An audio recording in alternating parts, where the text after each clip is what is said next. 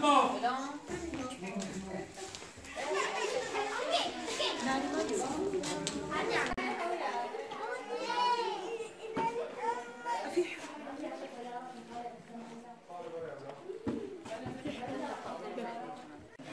كما رصدنا حالة إنسانية صعبة يعيشها أهالي الغوطة الشرقية بالإضافة للأطفال والنساء.